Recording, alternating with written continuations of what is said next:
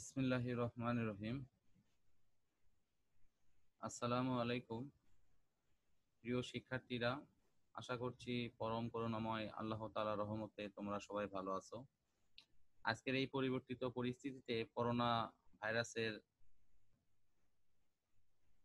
এই সংক্রমণের জন্য দীর্ঘদিন হলো আজকে আমরা ক্লাসের বাহিরে। তো আমাদের সম্মানিত প্রিন্সিপাল স্যারের উদ্যোগে আমাদের অনলাইন কার্যক্রমের অংশ হিসেবে আমি আজকে নবম শ্রেণির পদার্থবিজ্ঞান চতুর্থ অধ্যায়, কাজ, ক্ষমতা ও শক্তির ওই ক্লাসের দ্বিতীয় পাঠটি গ্রহণ করছি। আজকের পাঠের আলোচনার বিষয়বস্তু বিভব শক্তি এবং শক্তির বিভিন্ন রূপান্তর নিয়ে আমরা আলোচনা করব। ফার্স্ট আলোচনার বিষয়বস্তু হলো বিভব শক্তি। প্রথমে আমরা দেখব যে বিভব শক্তি কাকে বলে? কোন একটি বস্তুকে স্বাভাবিক অবস্থা থেকে আরেকটি ভিন্ন অবস্থানে নিয়ে আসলে ওই বস্তুর মধ্যে যে শক্তি সঞ্চিত হয়, সেই শক্তিকে বলা হয় অভিকর্ষ মানে বিভব শক্তি। অভিকর্ষ বলের বিরুদ্ধে যদি কোনো বস্তুকে আমরা ওপরের দিকে উঠাই, তাহলে ওর মধ্যে যে শক্তি সঞ্চিত হবে, সেটি হলো অভিকর্ষজ বিভব শক্তি। এখানে ছবিতে যে একটা স্প্রিং এর চিত্র দেখা যাচ্ছে এই স্প্রিংটি প্রথম চিত্রে স্বাভাবিক অবস্থায় আছে। এরপর এটি এক্স দ্রুত সংকুচিত করে নিয়ে আসলে এর মধ্যে যে শক্তি সঞ্চিত হয় সেটি হলো বিভব শক্তি। এই বিভব শক্তির পরিমাণটা কি পরিমাণ হবে সেটারও একটা সমীকরণ আমাদের এখানে দেয়া আছে। এর পরিমাণটা হবে হলো V equal to half k x square এখানে কে হলো স্প্রিংটির ধ্রুবক আর এক্স হলো এর স্মরণ। অর্থাৎ এই স্প্রিংটি যে পরিমাণ সংকুচিত হয়েছিল, সেই সংকোচনের পরিমাণটাই হলো এক্স এরপর আমরা দেখব যে এই স্প্রিং সম্প্রসারণের এই বলটা অথবা সংকোচনের বল, এটা আসলে বিপরীত দিকে ক্রিয়া করে। আমরা বল যেদিকে প্রয়োগ করি, বস্তুর তার প্রতিক্রিয়া হয় বিপরীত দিকে। অর্থাৎ স্মরণের বিপরীতে এর প্রতিক্রিয়া কাজ করে। এই কারণের জন্য এই বলকে আমরা F equal to minus k x হিসেবে আমরা এটি ব্যবহার করি। এরপর এখানে দেয়া আছে, একটি বিশেষ একটা অঙ্ক আছে। দশ কেজি ভরের একটি বস্তুকে দশ মিটার পার সেকেন্ড বেগে একটি স্প্রিং এর ওপর এসে পড়ল। এখানে স্প্রিং ধ্রুবকের মান এক লক্ষ জুল পার মিটার স্কোয়ার হলে সেটি কতটুকু সংকুচিত হবে? আমরা জানি গতি শক্তির সমীকরণ হাফ এম ভি স্কোয়ার সেই মান যদি আমরা এখানে বসাই, তাহলে ভরের পরিমাণ হলো দশ, বেগের পরিমাণ দশ মিটার পার সেকেন্ড এই মানগুলো বসানোর পর এখানে মান পাওয়া যাচ্ছে পাঁচশো জুল। এখন এই পাঁচশো জুল পরিমাণ মানে এখানে যে শক্তি প্রয়োগের পর স্প্রিংটি কি পরিমাণ সংকুচিত হবে, সেই ইকুয়েশনটা লেখা হয়েছে। স্প্রিং সম্প্রস মানে সংকোচনের যে equation half k x square সমান পাঁচশো জুল, এখান থেকে আমরা এক্সের মানটা বের করে নেব। এভাবে আমরা সহজেই এই ধরনের স্প্রিং এর অঙ্কগুলো করতে পারব। অভিকর্ষ বলের বিরুদ্ধে কোনো বস্তুকে যদি এই সূত্রতায় উঠানো হয়, তাহলে ওই বস্তুর মধ্যে যে শক্তি সঞ্চিত হবে, সেটি অভিকর্ষ বিভব শক্তি এবং এটির পরিমাণ হবে এমজিএইচ এম হলো ওই বস্তুটির ভর জি হলো অভিকর্ষ ত্বরণ এইচ হলো উচ্চতা। এখন আমরা এখানে একটি অঙ্ক আমরা দেখব দশ কেজি ভরের একটি বস্তুকে একশো মিটার পার সেকেন্ড বেগে ওপর দিকে নিক্ষেপ করা হলো, এটি কত উপরে উঠবে? তাহলে এটি যখন নিক্ষেপ করা হলো, সেই সময়ে তার এক তার আমরা গতি শক্তি বের করতে পারি। শিক্ষার্থী বন্ধুরা, তোমরা দেখো এখানে গতি শক্তি বের করা হয়েছে, হাফ এম ভি স্কোয়ার এই সূত্র দিয়ে। এই গতি শক্তির সমতুল্য পরিমাণ শক্তির ওই বস্তুর মধ্যে বিভব শক্তি আকারে সঞ্চিত হবে যখন বস্তুটি উপর দিকে উঠবে। আমরা এটি একটু বোর্ডে দেখানোর মাধ্যমে আরেকটু পরিষ্কার করার চেষ্টা করব।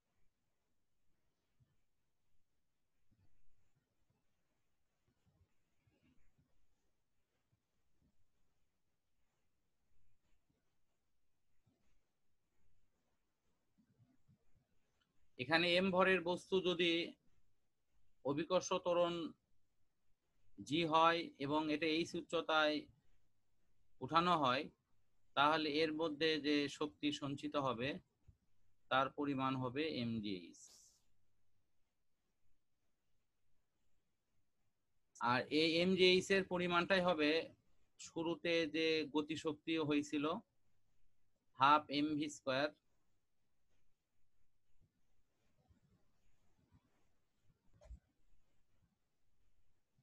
এটা সমতুল্য।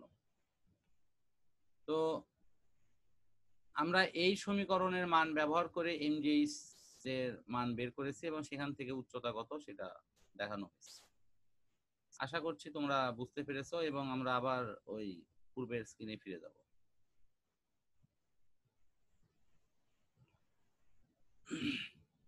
এখান থেকে আমরা এমজিএইচ থেকে এইচ এর মান বের করে নিয়েছি।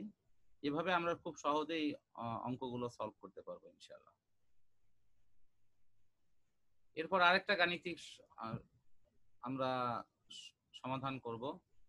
এখানে পাঁচ কেজি ভরের একটি বস্তুকে পঞ্চাশ মিটার পার সেকেন্ড বেগে উপরের দিকে নিক্ষেপ করা হলো। কত উচ্চতায় এর বিভব শক্তি ও গতিশক্তি সমান হবে? এখানেও আমরা একই ধরনের কৌশল ব্যবহার করব যে শুরুতে বস্তুটির মোট গতিশক্তি কত ছিল? অর্থাৎ এখানে T naught equal to half m v square এই সূত্রে আমরা মান বসাবো। যথারীতি ভরের মান পাঁচ কেজি, এখানে পাঁচ পাঁচ বসায় দেওয়া হয়েছে। বস্তুর বেগ পঞ্চাশ মিটার পার সেকেন্ড বসায় দেওয়া হয়েছে।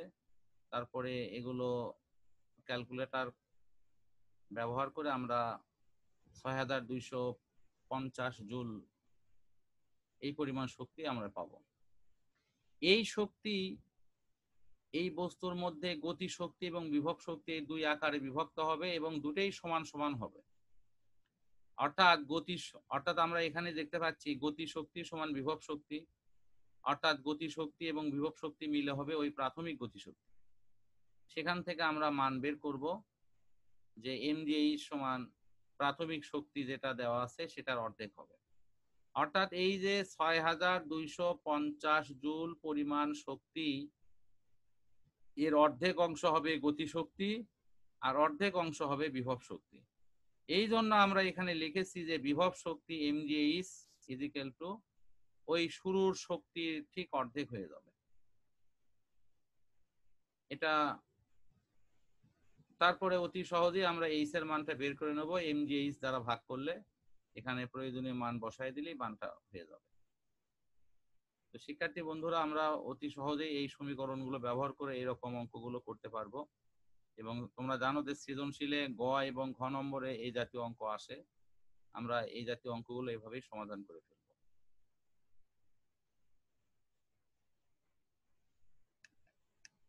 এরপর শক্তির বিভিন্ন উৎস।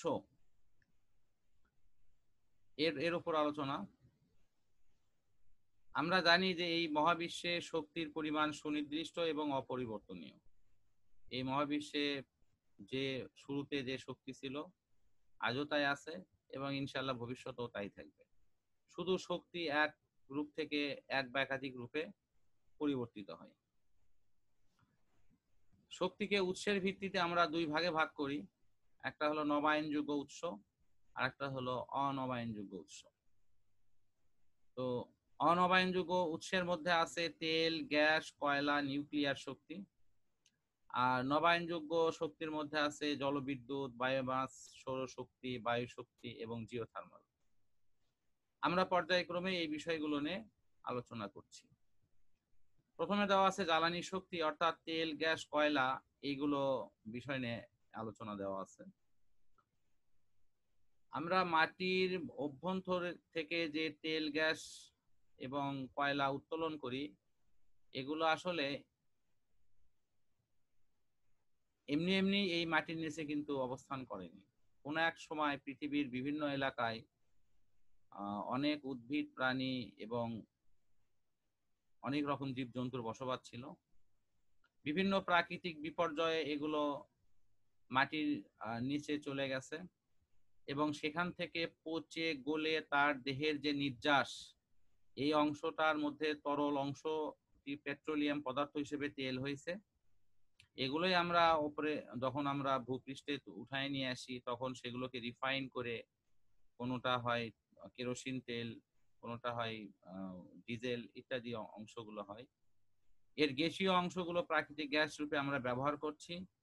আর অবশেষ যেগুলো থাকে সেগুলো নানারূপ পরিবর্তিত হয়ে কয়লায় রূপান্তর হয়েছে।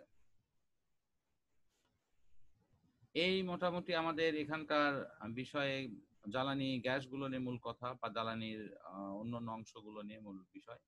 আমরা এখানেও দেখতে পাচ্ছি যে আসলে উদ্ভিদ এবং প্রাণীর দেহের নির্যাস থেকে আমরা এই জ্বালানি শক্তিগুলো পাই এবং এগুলো মূলত আসে সৌরশক্তি থেকে। এরপরে আছে নিউক্লিয়ার শক্তি। পরমাণুকে ভাঙলে শক্তি পাওয়া যায়। এই তথ্যটা দিয়েছেন মহান বিজ্ঞানী আইনস্টাইন। উনি E equal to MC square এই সমীকরণের মধ্য দিয়ে আমাদের কাছে একটা বিশেষ তত্ত্ব উপস্থাপন করেন যে শক্তিকে পদার্থে এবং পদার্থকে শক্তিতে রূপান্তর করা সম্ভব। বিশেষ করে কোনো পদার্থকে ভাঙলে এটি অনায়াসেই শক্তিতে রূপান্তর হয়। আমরা এই সমীকরণটা একটু দেখব। আমরা বোর্ড শেয়ার করি একটু।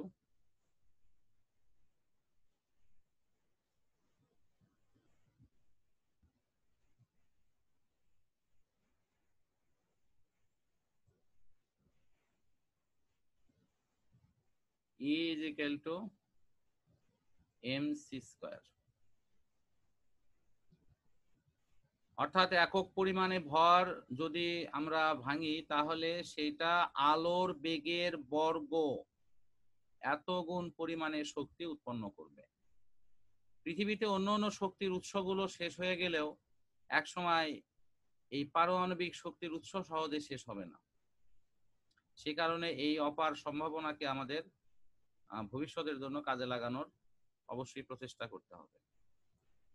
তবে এটি ব্যবহারে অনেক আমাদের সতর্ক হওয়া দরকার, কারণ এটি অনেক বিপজ্জনক। বাংলাদেশ সরকার রূপপুর পারমাণবিক বিদ্যুৎ মানে প্রকল্প হাতে নিয়েছে। এই প্রকল্প যদি বাস্তবায়ন করা যায়, তাহলে আমাদের দেশে অনেক পরিমাণে বিদ্যুৎ উৎপন্ন করা সম্ভব, যেটা দেশের চাহিদা পূরণ করেও আমরা হয়তো চাইলে বাহিরে রপ্তানি করতে পারব।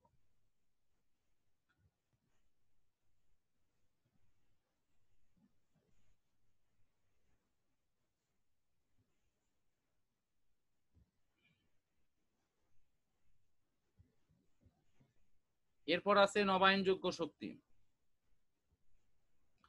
নবায়নযোগ্য শক্তি এর অর্থ হচ্ছে যে শক্তিগুলোকে আমরা পুনরায় ব্যবহার করতে পারি। এই শক্তিগুলো সাধারণত সহজে ফুরাবার নয় এই সহজে এগুলো ফুরিয়েও যায় না।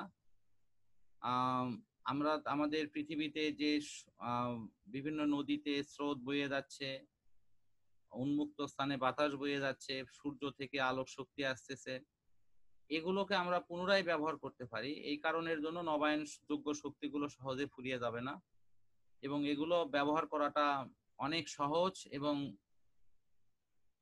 কম ব্যয় সাপেক্ষ। এখানে ব্যয় আমাদের অনেক কম করতে হয় এবং এগুলো অনেকটাই পরিবেশ বান্ধব হয়ে থাকে। এর মধ্যে ফার্স্ট হলো জলবিদ্যুৎ। নদীতে যখন স্রোত বয়ে যায়, এই স্রোতকে বিশেষভাবে যদি আমরা নিয়ন্ত্রণ করি, বিশেষ করে নদীর মাঝখানে বাদ দিয়ে পানিকে আমরা উপর দিকে ফুলিয়ে তুলে এর বিভব শক্তিকে গতি শক্তিতে রূপান্তর করে সেখান থেকে বিদ্যুৎ তৈরি করা যায়। এই হাইড্রো ইলেকট্রিক প্রজেক্টের মাধ্যমে বিশ্বের বিভিন্ন দেশে, এমনকি আমাদের দেশেও এই বিদ্যুৎ তৈরি করা হচ্ছে। বায়োমাস শক্তি। জলবিদ্যুতের পর সবচেয়ে নবায়নযোগ্য শক্তির উৎসের মধ্যে বায়োমাস শক্তিটাই বোঝানো হয়। পৃথিবীতে মানুষ অনেক রকম দ্রব্যই ব্যবহার করে। এই দ্রব্যগুলোর একটা অংশ অনেক সময় নষ্ট হয়ে যায়। মানুষ সেগুলো পুড়িয়ে ফেলে। এগুলোকে পুড়িয়ে না ফেলে এগুলো থেকে যদি আমরা বায়োগ্যাস তৈরি করতে পারি এবং বায়োফুয়েল তৈরি করতে পারি, তাহলে সেখান থেকে আমাদের এই ধরনের নবায়নযোগ্য শক্তি তৈরি হতে পারে। বায়োগ্যাস প্লান্ট এর একটা ভালো উদাহরণ হতে পারে। সৌরশক্তি। অনেকে শুনে অবাক হয়ে যাবে যে এক বর্গ কিলোমিটার এলাকায় সূর্য যে আলোক শক্তি তাপ শক্তি আকারে দেয়, এই পরিমাণ শক্তি যদি আমরা স্বাভাবিকভাবে বিদ্যুৎ কেন্দ্র থেকে পাই, তাহলে প্রায় হাজার মেগাওয়াট পরিমাণ শক্তি হবে। আমরা আরও শুনে আশ্চর্য হব যে সামান্য পরিমাণ শক্তি পৃথিবীতে সূর্য থেকে আসে, আর এর একটা বড় অংশ মহাকাশে কিন্তু হারিয়ে যায়। শক্তির একটা বিশাল আধার হলো সূর্য। এই সৌরশক্তির মধ্যে আলোক শক্তিকে আমরা সোলার প্যানেল ব্যবহার করে অতি সহজে বিদ্যুৎ শক্তি তৈরি করতে পারি। সৌর চুল্লিতে সহজে রান্না করতে পারি। এভাবে সৌরশক্তির বহুমুখী ব্যবহার আমরা করে থাকি। প্রাকৃতিকভাবে সৌরশক্তিকে ব্যবহার করে প্রত্যেকটা উদ্ভিদ সালোক সংশ্লেষণ প্রক্রিয়ায় তারা জৈব রাসায়নিক শক্তিগুলো তাদের মধ্যে আবদ্ধ করে এবং এগুলো পরবর্তীতে ব্যবহার করা হয়। এরপরে আছে বায়ু শক্তি। সৌরশক্তির পরে যে শক্তি খুবই গুরুত্বপূর্ণ তা হলো বায়ু শক্তি। বিশাল পরিমাণ টারবাইন দিয়ে বিদ্যুৎ তৈরি করার অনেক দৃশ্য হয়তো আমরা অনলাইন ভিডিওতে দেখে থাকব। এগুলোতে কয়েক মেগাওয়াট পর্যন্ত বিদ্যুৎ তৈরি করা যায়। বাতাস যে শক্তির মাধ্যমে এই বায়ুকলগুলো ঘুরায় নিয়ে সেখান থেকে টারবাইনের মাধ্যমে বিদ্যুৎ তৈরি করা হয়। বায়োফুয়েল, পৃথিবীর বহু দেশ নানা রকম জৈব বস্তুগুলোকে পচিয়ে অ্যালকোহল তৈরি করছে এবং এই অ্যালকোহলগুলো থেকেও কিন্তু অনায়াসে আমরা জ্বালানি তৈরি করতে পারি। বিশ্বের মধ্যে ব্রাজিলে এই ধরনের কিছু প্রকল্প আছে বা গবেষণা করা হচ্ছে এবং এবং দিন দিন এই বায়োফুয়েলের গুরুত্ব কিন্তু বাড়ছে। এরপর আছে হলো ভূতাপীয় শক্তি। নবায়নযোগ্য শক্তির মধ্যে এটাও একটা অন্যতম প্রধান শক্তি। আগ্নেয়গিরির অগ্নুৎপাত হওয়ার সময় অনেক সময় লার্ভাগুলো পৃথিবীর ভূপৃষ্ঠের খুব কাছাকাছি এসে আর ওপরের দিকে আসতে পারে না। তখন এই ভূপৃষ্ঠের কাছে এটি প্রচুর পরিমাণে তাপ বিকিরণ করে। এই তাপগুলোকে ব্যবহার করে আমরা সহজেই অন্য শক্তিতে রূপান্তর করতে পারি বা এই তাপ শক্তিগুলো পৃথিবীর ভূপৃষ্ঠের কাছাকাছি যে আহ, পানির স্তর আছে সেগুলোকে বাষ্পে পরিণত করে এবং এই বাষ্পগুলো যখন বের হয়ে আসে এবং এগুলোর মাধ্যমে টারবাইনকে ঘুরাইয়া সহজেই আমরা বিদ্যুৎ তৈরি করতে পারি। আমরা এর মধ্য দিয়ে আজকের আলোচনা শেষ করছি। শিক্ষার্থী বন্ধুরা, এই করোনা পরিস্থিতিতে তোমরা সবাই বিনা প্রয়োজনে কেউ বাহিরে যেও না এবং নিরাপদভাবে বাসায় অবস্থান করো। স্বাস্থ্যবিধি মেনে চলো। অবশ্যই খাওয়া দাওয়ার আগে এবং অন্য কোনো সময়ে যখন আমাদের হাতটাকে যেন পরিষ্কার করা হয়, বেশি বেশি হাত ধোয়ার অভ্যাস করতে হবে এবং যথেষ্ট সতর্ক থাকতে হবে। পরম করুণাময় আল্লাহর কাছে আমরা এই করোনার বিষয় নিয়ে আমরা পানা সবাই সবার জন্য চাবো এবং সবার সুস্থতা কামনা করে আজকের মতো শেষ করছি। আসসালামু আলাইকুম।